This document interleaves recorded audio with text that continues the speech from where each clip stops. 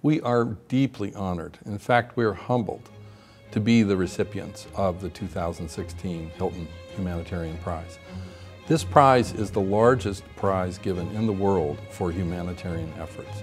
We know that building collaborations across many partners is how you solve big problems. And that really is at the core of why the task force is being recognized with the Hilton Humanitarian Prize.